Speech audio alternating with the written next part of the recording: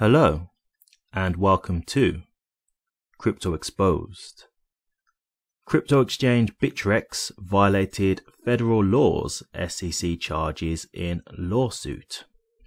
So, I did a video um about three weeks ago, I'd say, and this was in regards to um, a response that BitBoy had put out, and it was a video about how they were saying that we need to stop the tribalism in crypto.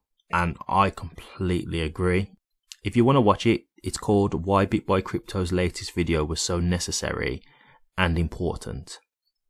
And I was actually surprised by the response I got because, you know, I did expect a lot of tribal answers and a lot of tribal arguments, but actually a lot of people did see what I was saying and they were actually very supportive, which was good to see because that's what we need in the crypto space. And I've been saying this from the very beginning of when I started my channel. I will say it again and I will continue to say it. We don't need this tribalism. We don't need my coin's better than your coin. We're all here because we believe in the technology and we're all here to try and make some money from investing in these technologies, right? And so, you know, when we're having all this segregation and you know watching other people fail and kind of laughing at another crypto's failures what you've got to understand is ultimately it's actually damaging the crypto space. And so when you know we're, seeing currently ripple in this lawsuit with regards to xrp you know i was saying that really you need to be supporting ripple in this lawsuit because it's really not just about xrp alone. This is about the crypto space. Make no mistake about it and in this new lawsuit that SEC have done against Bittrex, you'll see exactly why I said that. Because they've actually named, I think it's five cryptocurrencies that they are saying are securities.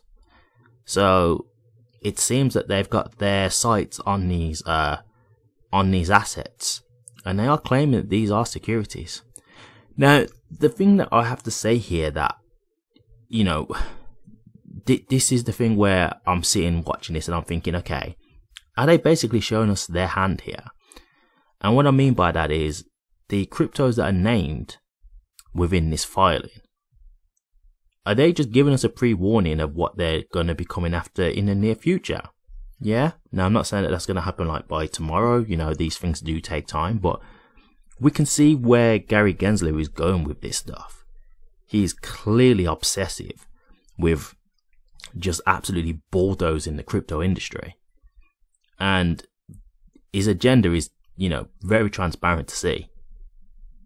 And so, if he has it his way, the cryptos that have been mentioned, are they the ones that are next in the firing line? Are these the ones that have been deemed in his eyes the next targets to go after, the next the next cryptocurrencies to face a lawsuit? It makes me wonder, right? So I'm not going to get into the article too much because you, you get the idea. Basically, SEC have filed a lawsuit against Bittrex. The long and short of it is that they're claiming that uh, Bittrex were operating an unregistered security exchange, a broker, and a clearing agency, and they're saying that they should have filed that with the SEC.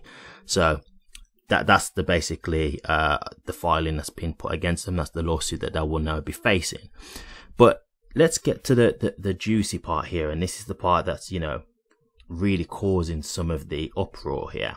So, according to the complaint against Bittrex, the SEC alleges Omize Go, which is ticker OMG, Algorand, ticker Algo, Dash, ticker Dash, Token Card, ticker TKN, iHouse Token, ticker IHT, and Naga, ticker NGC, are securities.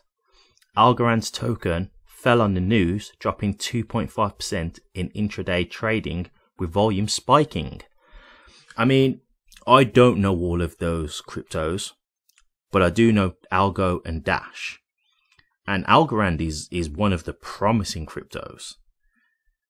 And so now it just makes me think like seeing Algorand in there, and as you saw already, Algorand's token has been affected by this, by losing some of its uh, price value. What, what's going to happen here? What's the plan? are they just getting this ready and just letting people know this is a preview of the tokens that we are coming for next? I don't know. I mean, there's a lot of cryptos in here that they've clearly labeled. So I guess they, you know, they've got a lot of time on their hands to go through this. Because I mean, if you look at the XRP lawsuit, well, sorry, the, the Ripple lawsuit, that's been going on for two years now.